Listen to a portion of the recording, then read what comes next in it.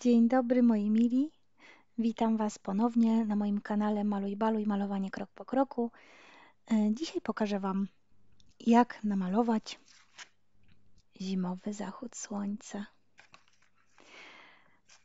Przypatrzcie się dokładnie. Ja może najpierw wytłumaczę co będziemy robić od początku e, naszego malowania.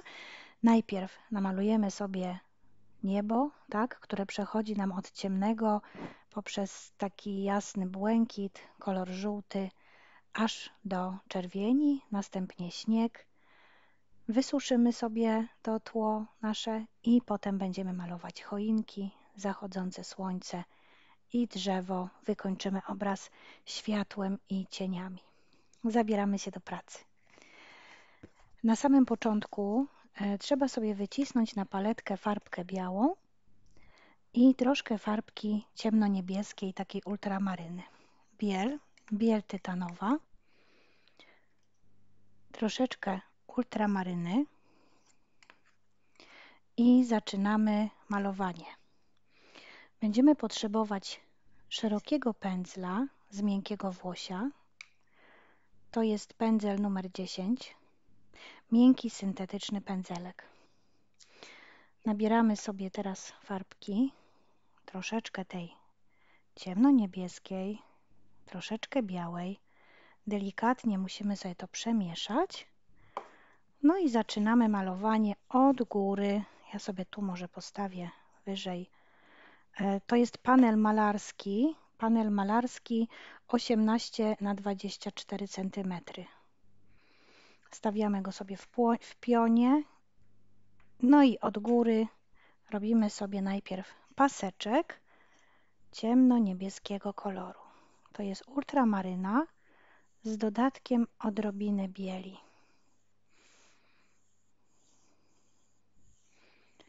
Bardzo gładziutko rozprowadzamy sobie tą farbkę od lewej do prawej strony. Zobaczcie, robią nam się takie ładne smugi tutaj na obrazie. Takie jakby już gotowe chmurki. Jak już mamy ten ciemno-niebieski kolor gotowy, to teraz musimy sobie powycierać pędzelek w jakąś szmatkę, wypłukać sobie go dokładnie w wodzie i nabieramy sobie teraz takiej czystej białej farby bez dodatku niebieskiego. I tutaj poniżej tego niebieskiego robimy sobie takie, o tu mi się troszkę niebieskiej farby zaplątało, robimy sobie taki biały pasek, a tą granicę między bielą a niebieskim delikatnie sobie rozcieramy.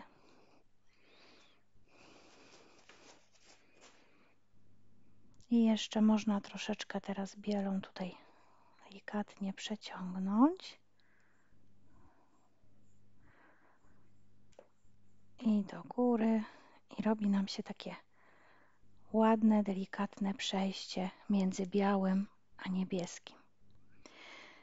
Teraz wyciskamy sobie na paletkę troszeczkę farbki żółtej. Oczywiście pędzel musimy sobie wypłukać dokładnie w wodzie. Bierzemy sobie farbkę żółtą I dokładnie w taki sam sposób, jak było malowane, jak był malowany ten biały fragment, malujemy sobie farbkę żółtą. I przeciągamy do góry, żeby nam się zrobiło takie ładne, delikatne przejście między tym żółtym a białym kolorem. Ciągniemy do góry, ciągniemy i robi się takie piękne, delikatne przejście. Proszę bardzo. I kolejny etap to jest dodanie koloru czerwonego. Wyciskamy czerwony, dodajemy odrobinkę tej czerwieni do farby żółtej, żeby nam taki się ładny ten czerwony zrobił, wpadający lekko w pomarańcz. I znowu robimy to samo co wcześniej, czyli malujemy sobie tutaj czerwony ten dół. Troszeczkę sobie trzeba zamoczyć pędzelek do wody, nie za bardzo, żeby był delikatnie wilgotny. I przeciągamy sobie tutaj, póki ten żółty kolor jest jeszcze mokry. W taki sposób. O. I teraz możemy sobie powycierać ten pędzel znowu w szmatkę, wypłukać go sobie w wodzie i teraz rozcieramy takim lekko wilgotnym pędzlem tą granicę między żółtym a czerwonym i robi nam się taka delikatna pomarańczowa poświata.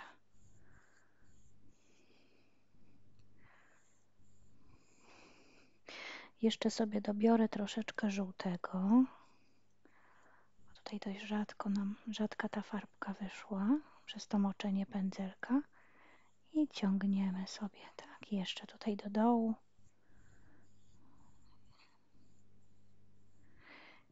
I mamy już namalowane nasze niebo.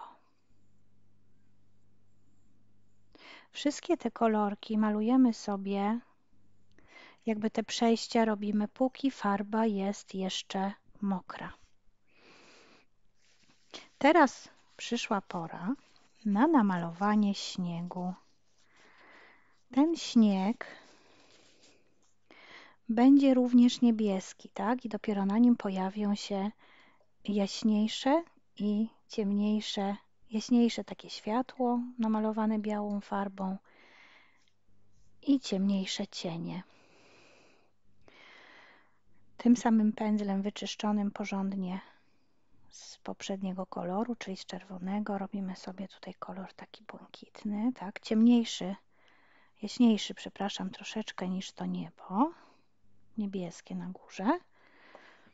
No i teraz w taki sposób, o, takimi pociągnięciami, krótkimi pociągnięciami pędzla robimy sobie tutaj śnieg. Nie zależy mi na tym, żeby ta farba była idealnie gładko wymieszana, tylko też dobrze by było, gdyby tutaj pojawiły się gdyby tutaj pojawiły się takie jaśniejsze i ciemniejsze i ciemniejsze smugi, tak? Takie dotknięcia pędzla, ciemne, jasne, no, takie krótkie, o, widzicie. Postarajcie się to tak dokładnie zrobić, żeby tutaj nam nie było widać tego płótna. Jeszcze troszkę tutaj ciemnego dodamy. I tutaj na dole. Ten panel malarski jest bardzo lekki, więc mi się delikatnie przesuwa i muszę go tu sobie paluszkiem przytrzymywać. Wypełniamy dokładnie tutaj to płótno aż do samego końca. I teraz możecie sobie zrobić chwilkę przerwy jak już to będzie tutaj tak rozmalowane i suszarką do włosów delikatnie ten obrazek można sobie już przesuszyć. Wracamy za moment, jak nasze tła będą suche. Mamy już y, wysuszone tło y, do naszego obrazka.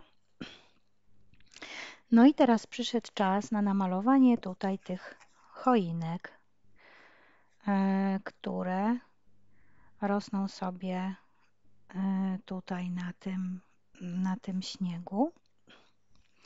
Najpierw namalujemy tą jedną, która nie jest zbyt wysoka, potem tą mniejszą, dużą i jak się nam zmieści, to jeszcze namalujemy sobie tą malutką choineczkę.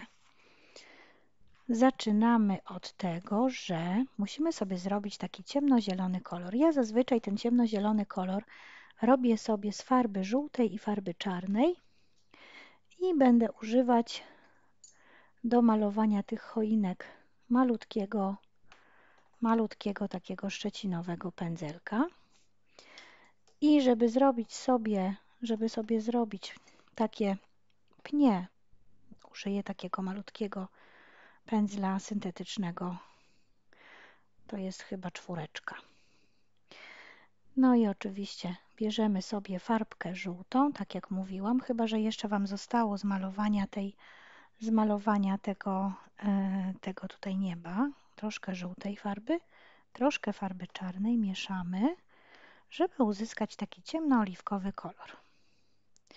Tutaj za dużo czarnego mi się nabrało, więc muszę troszkę więcej żółtego nabrać.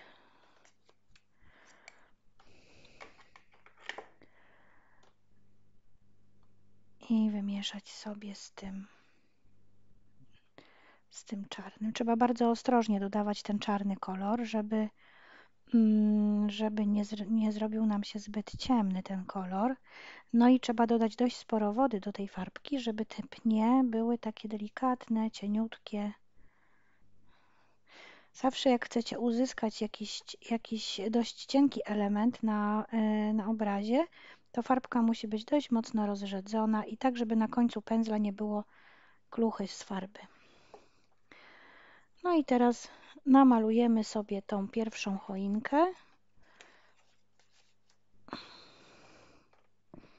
Ona sobie będzie rosła tak mniej więcej tutaj z tego brzegu. Nie jest zbyt wysoka, tak? Zaznaczamy sobie tylko linię, tak, na wysokość, jak mniej więcej będzie ta choinka wysoka. Tu nie musimy tego pnia pogrubiać, ponieważ te gałęzie będą szły do samego dołu. I teraz bierzemy sobie pędzelek, ten szczeciniak, od który, o którym mówiłam, malutki. Bierzemy sobie tej zielonej farbki. Jeszcze mogę sobie troszeczkę jej tutaj więcej dorobić. I teraz tym szczeciniaczkiem formujemy tutaj na tym, e, na tym pniu, formujemy sobie maleńkie gałązki. Takimi, a no też można ten, tą farbę lekko rozklepać, tak żeby na końcu pędzla kluchy z farby nie było. I oczywiście tutaj zaczynamy już od góry takimi o, lekkimi dotknięciami formować sobie choinkę. Róbcie to w taki sposób, tak żeby tego pnia później nie było widać. I te gałązki tutaj im niżej, tym są oczywiście, oczywiście szersze.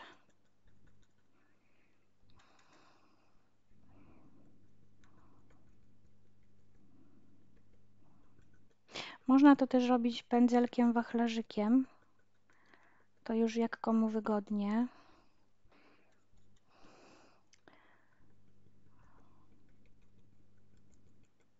I tutaj ta choinka nam się na tym śniegu o, tak do tego miejsca tak delikatnie te gałęzie nam się na tym śniegu kładą. Jeżeli Wam nawet nie wyjdzie taka idealna ta choinka, to się nie przejmujcie, dlatego że później i tak będziemy malować na niej śnieg. Teraz namalujemy taką malutką choineczkę mniej więcej w tym miejscu, tym samym sposobem, czyli najpierw sobie zaznaczymy zaznaczymy sobie tutaj maleńki pień o, tym cieniutkim pędzelkiem. No i teraz znowu gałązki. Od najmniejszych tą samą techniką. Może nawet troszkę wyższą tą choineczkę zaraz zrobimy. Chyba wyszła troszkę za malutka nam. Więc ją możemy delikatnie tutaj do góry przeciągnąć ten pień. O, I jeszcze raz spróbować. Tak, żeby tak, żeby tutaj wyszło. I teraz będzie już lepsza. No i te gałązki też musimy teraz tutaj powiększyć.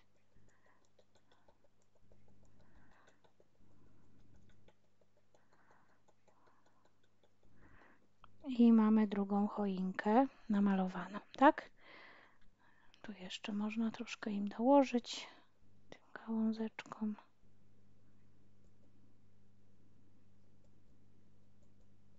w taki sposób. Teraz musimy namalować tą dużą choinkę, która rośnie mniej więcej tutaj. I znowu cieniutkim pędzelkiem i tą zieloną farbką zrobimy sobie taki dosyć wysoki już pień. On tu będzie gdzieś stąd. Szedł.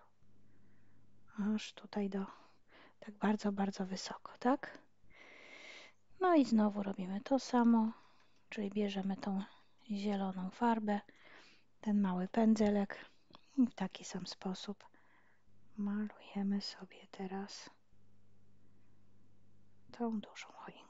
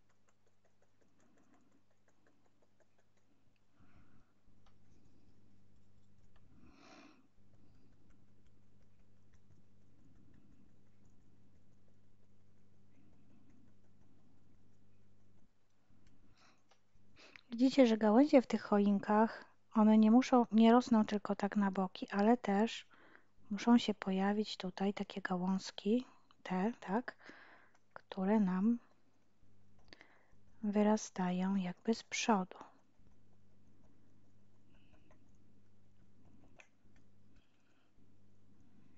No i choineczki trzy mamy gotowe. Nie za gęste, żeby było widać tamto światło, które jest z tyłu. I tu jeszcze będzie taka jedna maleńka, najmniejsza już ze wszystkich, gdzieś tam na tym horyzoncie.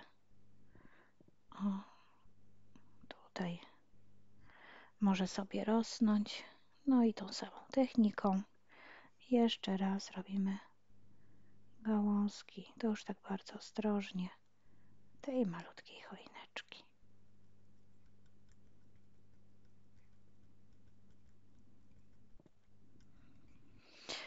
I teraz, jeżeli obrazek jest bardzo mokry, czyli te choinki są bardzo mokre, to możemy je sobie znowu przesuszyć suszarką albo chwilkę poczekać, pójść sobie, nie wiem, zrobić jakąś kawkę, herbatkę, tak? A jeżeli nie, to możecie użyć suszarki. I można od razu sobie teraz już wyczyścić pędzelki w wodzie. Za chwilkę będą nam potrzebne do farby, do farby białej. A my sobie tymczasem, jak te choineczki nam będą schły, możemy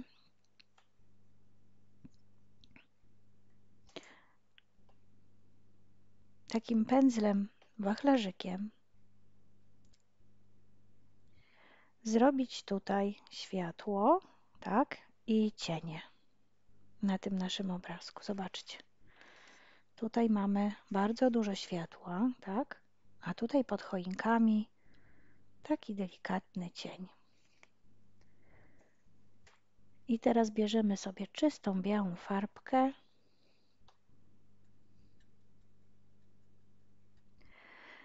Tu będzie mniej więcej to nasze zachodzące słońce i delikatnie pędzelkiem malujemy takie świetliste smugi od słońca. Pamiętajmy o tym, że istnieje coś takiego jak perspektywa. Więc wszystkie przedmioty, wszystkie elementy, które znajdują się daleko, są mniejsze, a im są bliżej, tym są większe. I tak samo ma się ta tutaj ta poświata, tak? Słoneczna.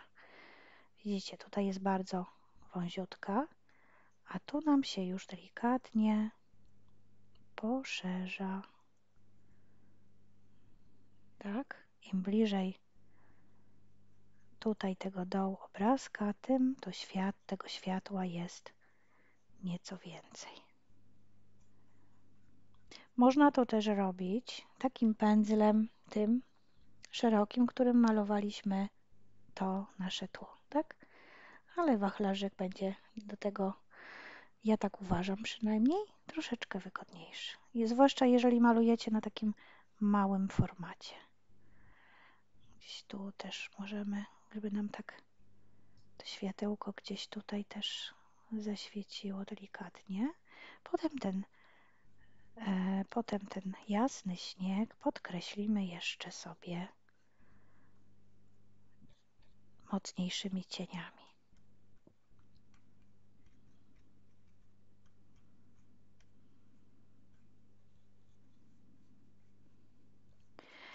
I teraz, skoro mamy tutaj światło, to musi się jeszcze pojawić cień pod choinkami, tak? Cień, który rzucają nam te choinki. I też tym samym pędzlem, tylko trzeba go troszeczkę wyczyścić z tej farby, z tej farby białej. Bierzemy sobie kolor ciemno-niebieski, czyli ultramarynę. Tak? I podkreślamy tutaj cień pod choinkami. Tu będzie słońce, więc cień nam będzie padał tutaj w tą stronę. Z tej choinki tutaj w tą stronę. Z tej tak samo. Tu zresztą między tymi gałązkami dobrze, gdyby się też troszeczkę nam pojawiło takiego cienia pod tym. Nie trzeba to tak idealnie e, tych cieni robić. Gdzieś też dobrze by było, gdyby trochę światła nam tutaj zostało. No jeszcze tutaj ta choinka. Tak to mniej więcej teraz tutaj wygląda. Nie róbcie takich idealnie jasnych, y, ciemnych linii, tylko takimi właśnie takimi właśnie tylko krótkimi pociągnięciami pędzla. Jeszcze gdzieś tu się mogą cienie pod tymi takimi jasnymi pojawić.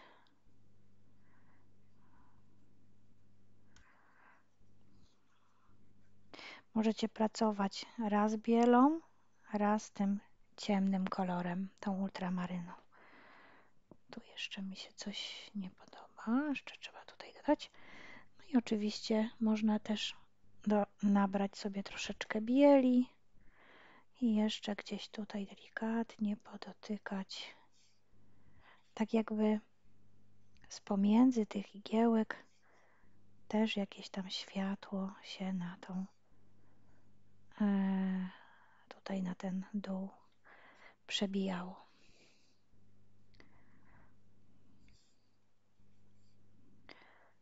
Ok.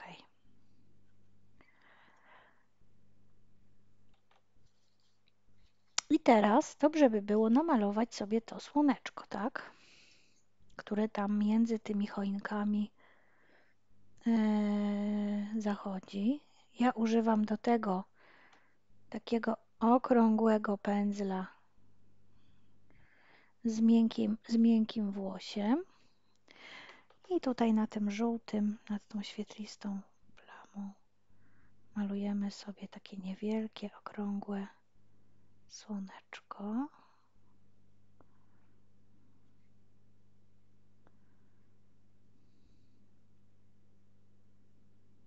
I ono tutaj rzuca tą świetlistą taką poświatę.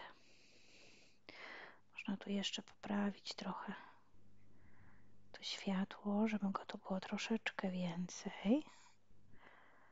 Żeby nam tak pomiędzy tych drzew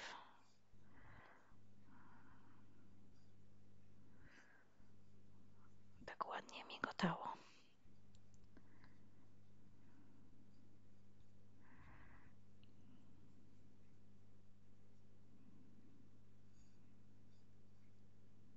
Tam nie ma drzew, więc też może być trochę jaśniej. Ja tutaj tym, tym samym pędzlem to teraz zrobię. Ok. I teraz widać, i teraz widać mniej więcej tą taką jasną, jasną, świetlistą poświatę. Tu można między gałęziami jeszcze gdzieś coś bielą musnąć delikatnie. Tak za tymi choinkami.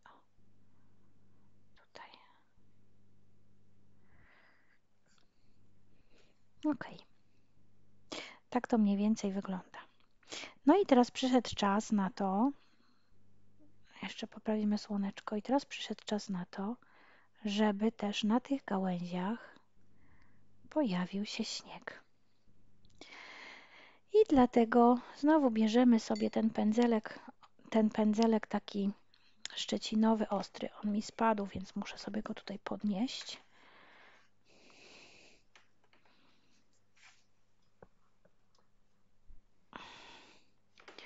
Ja go już wyczyściłam z tej e, zielonej farby, tak, ten ostry. I czystą białą farbą, tak delikatnie rozklepaną tutaj o tą paletkę. Też kluchy z farby niech nie będzie na, na końcu pędzla. Robimy na tych gałązkach tutaj takie delikatnymi dotknięciami na górze gałązek. Takie śnieżne, taką śnieżną jakby kołderkę.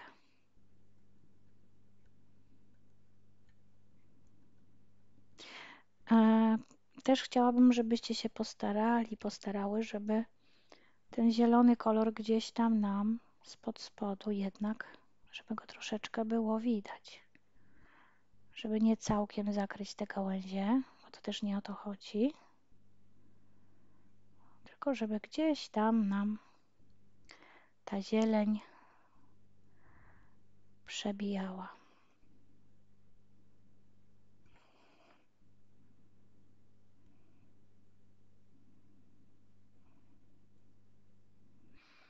Jedna choineczka już jest przykryta.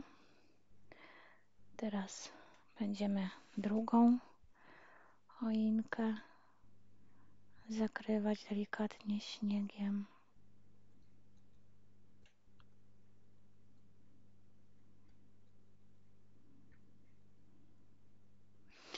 Też śnieg leży na, na górze tych gałązek, więc trzeba też tak uważać, żeby zrobić to w taki dość dokładny sposób.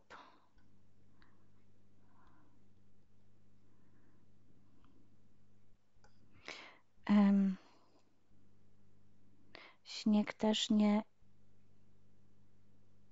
nie jest równy, tak? Na wszystkich gałęziach gdzieś tego śniegu się znajduje więcej, a gdzieś mniej. mniej. Więc to też można yy, trzeba się przejmować, żeby to było tak, że na wszystkich gałązkach jest taka sama ilość śniegu. No i następna, następna choinka. Znowu tutaj ostrożnie przy górze, bo tu mamy takie delikatne te gałązki. A im niżej, tym, tym możemy sobie tutaj pozwolić na, na więcej na mniejszą ostrożność, tak? Ok, jeszcze tu, tu, tu.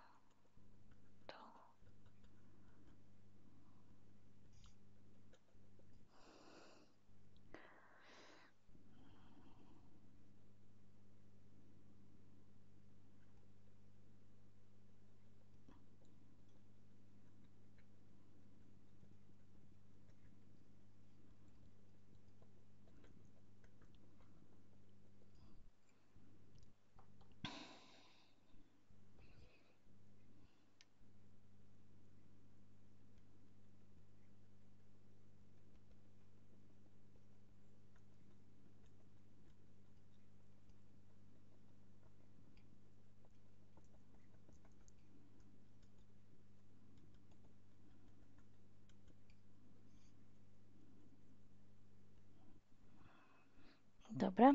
I została nam jeszcze ta najmniejsza maciupeńka. No i to samo jeszcze tu.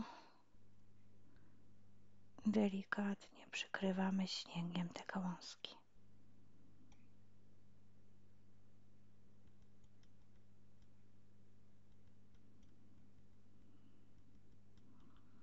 Pamiętajcie, żebyście się malując nie spieszyli, bo to nie jest wyścig, tylko to ma być przyjemność. A co nagle, to po diable, jak mówią. Więc powolutku, pomalutku, a do celu. Cieszcie się każdym pociągnięciem pędzla. Dobra, e, to już mamy zrobione. Nie chciałabym jednak, żeby, mm, żeby ten śnieg tutaj na tych drzewach i ten, który jest tutaj na tym, e, na tej ziemi, żeby miał takie, e, takie tylko niebieskie odcienie, więc możemy sobie teraz wykorzystać jeszcze troszkę żółtej farby i dodać sobie do tej białej taką niewielką ilość żółtego, rozświetlić go. I teraz na te gałązki tutaj od strony słońca rzucić taki jakby taki żółty blask, żeby one nie były takie tylko białe i w jednym kolorze, tak? Bo na śniegu też się pojawiają różne refleksy kolorowe i cienie, i światła. Więc tutaj tego światła troszeczkę możemy też na tych gałązkach dodać. A za chwileczkę, tutaj od strony oczywiście z tego słońca, tak samo tu gdzieś na, na tej na tym śniegu niech taki blask się delikatny nam pojawi od tego światła słonecznego. Gdzie nie gdzie.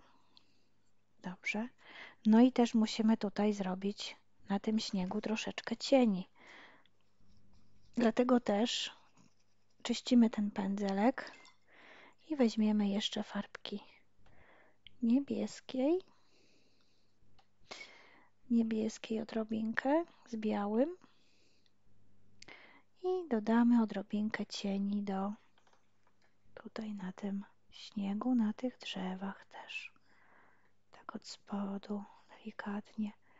I zobaczcie, zrobiło się to takie fajne i kolorowe. Jeszcze gdzieś tu. Po tej stronie jest więcej cienia, bo ta strona jest, nie jest od strony słoneczka. I widzicie, jakie to jest fajne i kolorowe teraz. Zobaczcie, jak to wygląda w przybliżeniu, tak? Światło i cień na choinkach.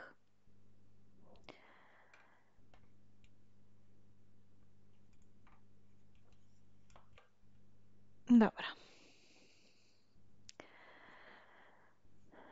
Brakuje nam jeszcze tutaj tego naszego, tego naszego drzewa. No i takich, yy, takich czerwonych obłoczków, tak? Różowych obłoczków na niebie. I na samym początku może zrobimy sobie te obłoczki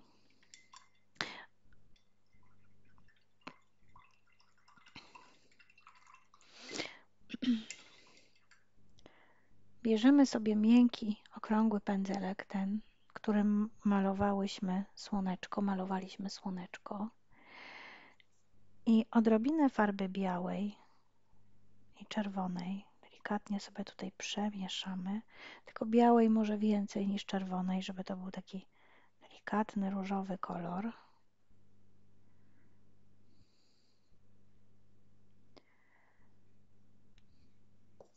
I bardzo, bardzo leciutko gdzieś tu zrobimy sobie takie, takie smugi. Tak? Tak jakby się tu pojawiły, pojawiły obłoki. Takimi delikatnymi dotknięciami. Gdzieś tu taki różowy obłoczek. Tu może sobie też płynąć. Jeszcze gdzieś tu. tak żeby też nam tutaj wychodziły z tego obrazu te chmurki.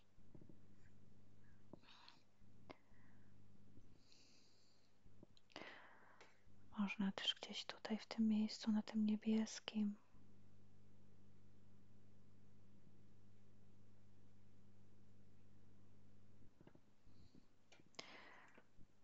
Tak to tutaj mniej więcej teraz wygląda.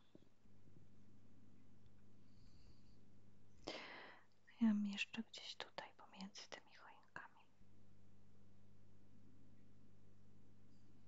Można to zrobić zanim się będzie malować choinki. Też. Też, żeby z tymi chmurkami tutaj nie przesadzić. Ok, to taka uproszczona wersja chmurek. I co? Mamy to o, w taki sposób namalowane. No to teraz drzewo. Drzewo będziemy malować. Zaczniemy sobie malować tym, tym cienkim pędzlem. Tym, którym malowa, malowaliśmy pnie choinek, tak? Drzewo będzie gdzieś tak tutaj rosło stąd, będzie przechodziło tu przez te choinki i tak aż do samej góry.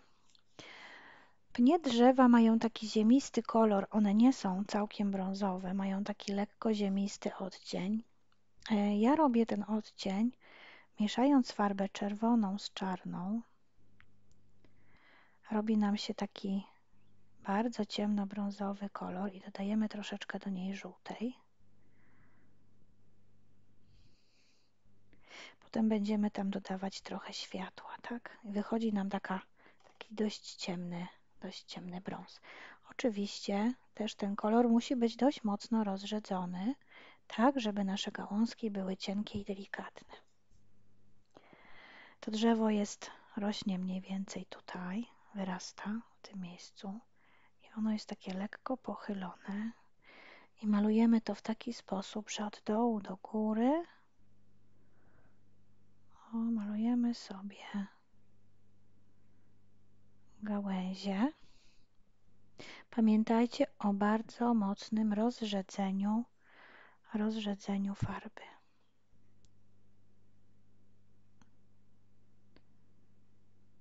Delikatnie, delikatnie. O. Cyk. Mamy jedną gałąź, a właściwie pień. Tutaj możemy namalować drugi pień.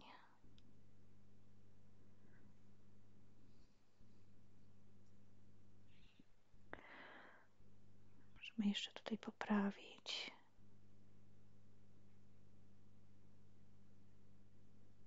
Tak? No i teraz od tego pnia gałązki idą sobie tutaj, rozchodzą się. Im wyżej, tym cieńsze i delikatniejsze.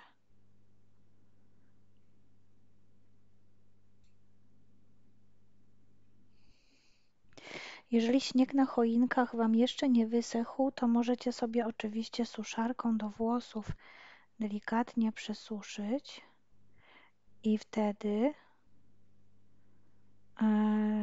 nie będzie Wam się tutaj to tak rozmazywać. Ale mi już zdążyło to przeschnąć, więc Więc już mogę sobie tutaj pozwolić na to, żeby, żeby te gałązki malować.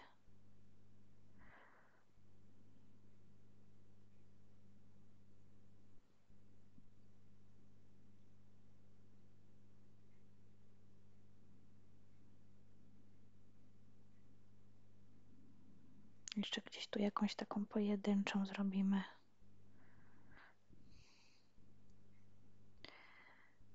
Ok. I poszerzę ten pień tutaj na dole, delikatnie. No i oczywiście później też zrobimy cień tego drzewa. Ja bym jeszcze tutaj przeciągnęła trochę do góry tą gałąź.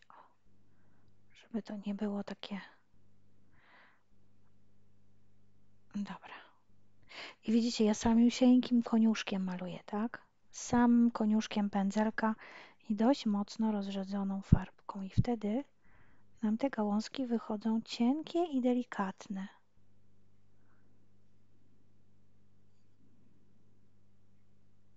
Jeżeli są lekko przezroczyste, to można je jeszcze tutaj troszeczkę poprawić. No i co? I teraz musimy jeszcze tutaj. Hmm, nie wiem, czy przedłużyła, przeciągnęła to drzewo tak troszkę na dół bardziej, o, żeby było wyższe.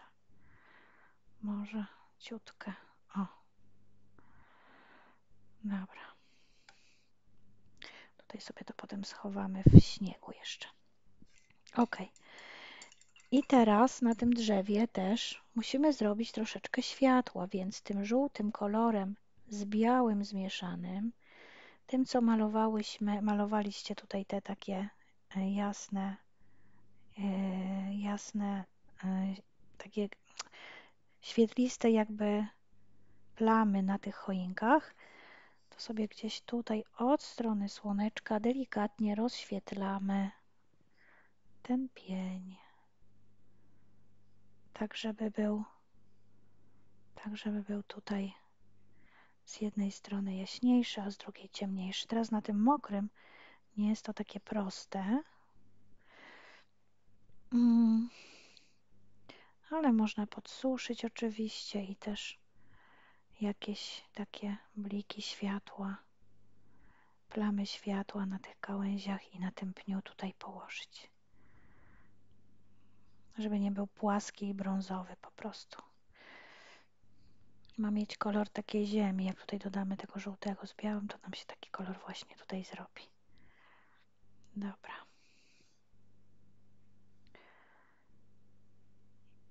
I też robimy to w taki dość delikatny sposób. Tutaj oczywiście w tym miejscu, gdzie mamy słońce, gdzie on przez słońce przechodzi, można bardzo mocno rozświetlić, tak żeby nam, tak jakby nam tutaj ta gałązka prawie znikała, tak? Przy tym świetle. No i teraz dobrze by było jeszcze zrobić śnieg na e, tutaj przy, tu gdzie drzewo nam wyrasta. Najpierw zrobimy sobie tutaj takie a, taki ten śnieżek, taki jakby jaśniejszy, tym pędzelkiem wachlarzykiem.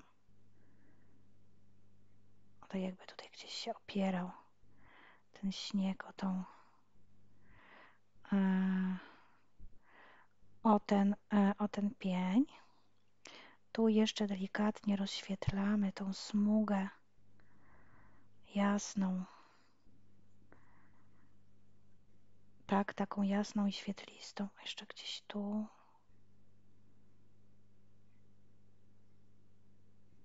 Coś takiego.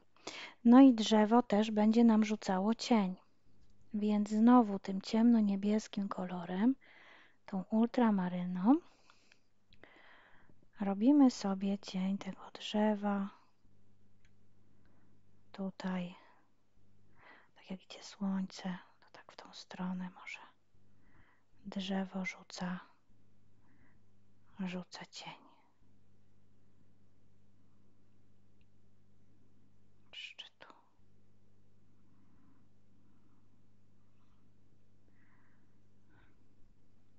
Tak?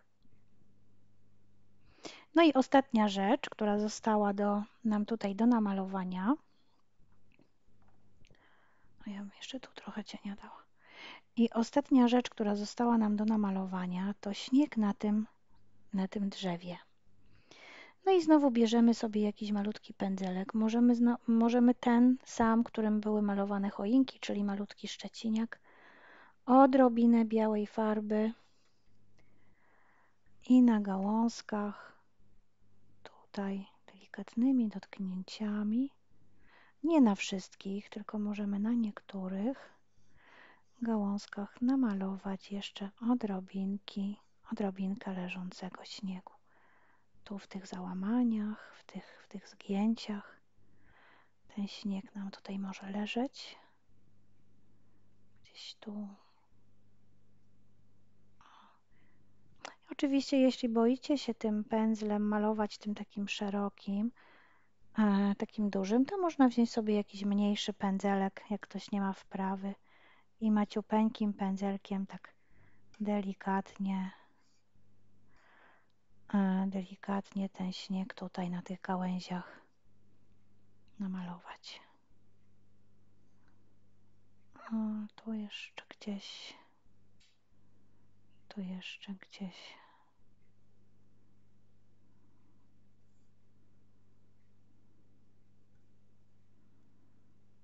Myślę, że myślę, że już może wystarczy tego śniegu.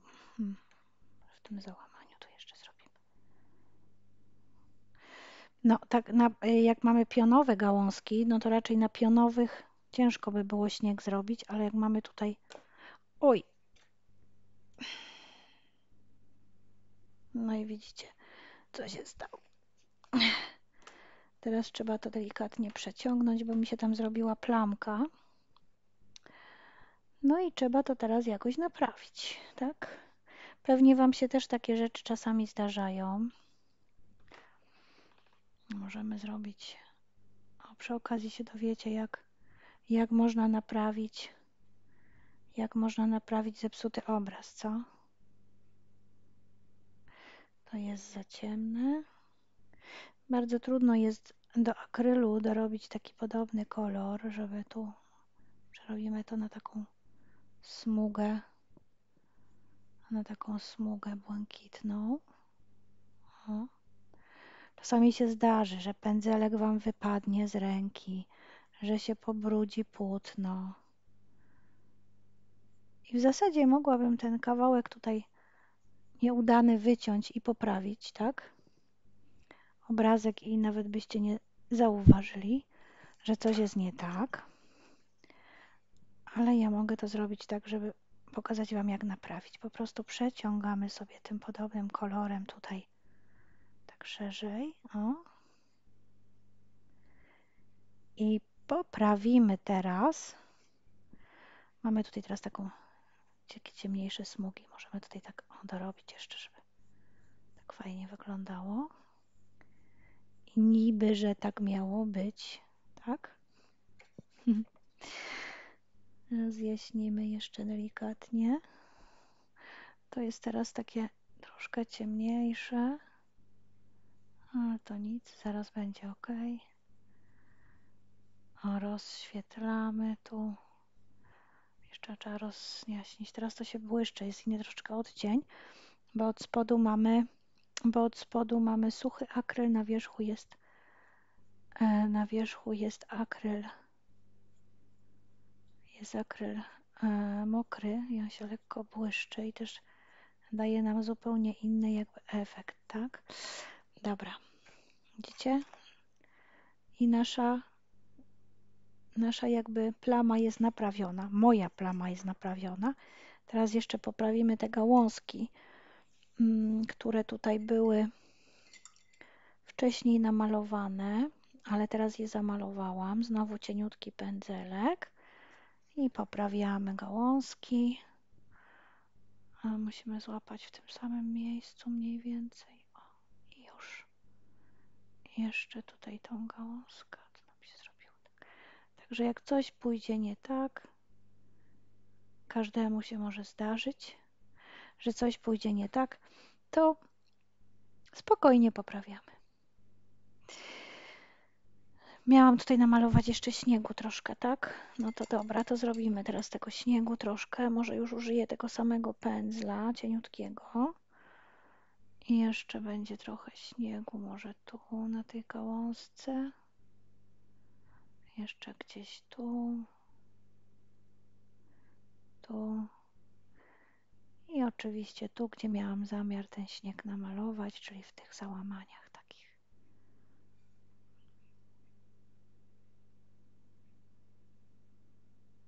Ok. Przy okazji jeszcze rzucimy trochę światła na, na to nasze drzewo.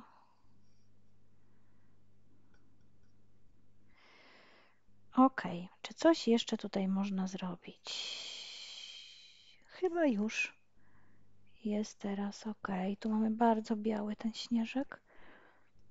Troszkę można przygasić niebieskim.